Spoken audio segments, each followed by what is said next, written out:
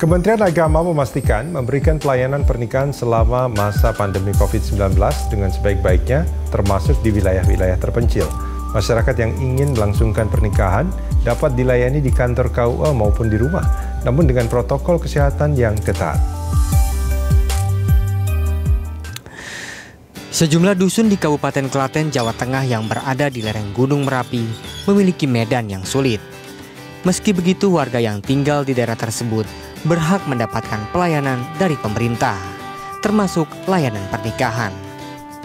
Sugianto, 49 tahun, warga Jagir Dragan, Taman Sari, Boyolali, adalah satu-satunya penghulu di KUA Kecamatan Kemalang, Klaten.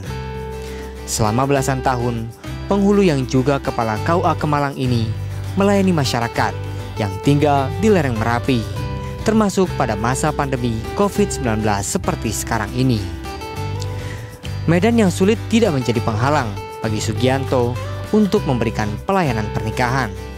Seperti di dusun Girpasang yang hanya berjarak 4,8 km dari puncak Gunung Merapi dan hanya ada 9 rumah dengan dihuni 12 kakak dan 34 jiwa. Untuk masuk ke dusun terpencil yang terpisah oleh jurang itu, ia harus menyusuri jalan setapak berupa ribuan anak tangga.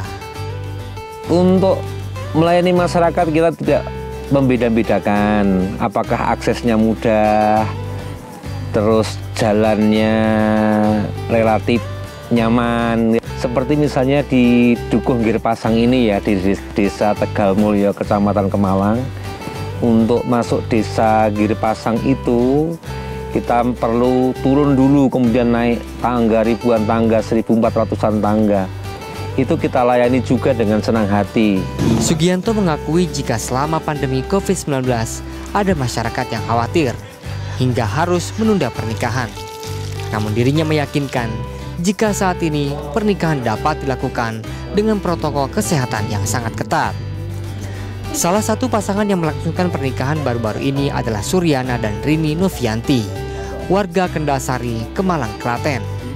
Suryana mengucap syukur karena pernikahannya yang sempat ditunda akhirnya dapat terlaksana dengan lancar. Di pandemi Covid ini bisa melangsungkan akad pernikahan senang sekali. Alhamdulillah untuk mengikuti protokol prosedur Covid ini tidak menimbulkan hambatan, tetap bersyukur tetap bisa melangsungkan pernikahan.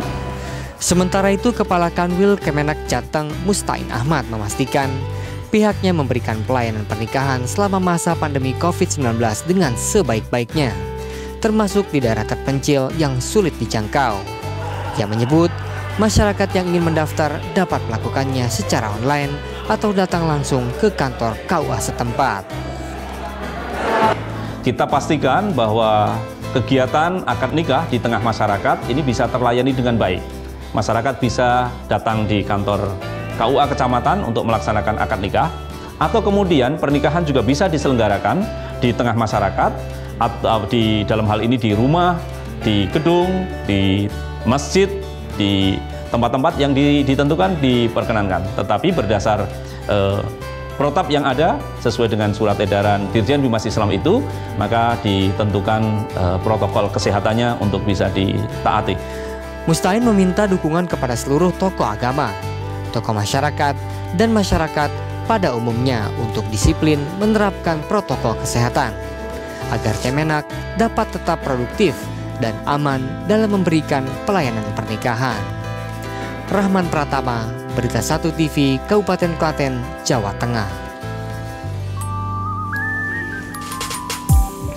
Ya, informasi dari Kemalang tadi sekaligus menutup kita di jumpa kita di Lansto kali ini. Jangan lupa untuk tetap menerapkan protokol kesehatan untuk mencegah penyebaran virus corona. Atas nama seluruh kerabat kerja yang bertugas, saya Rudi Andanu undur diri. Sampai jumpa.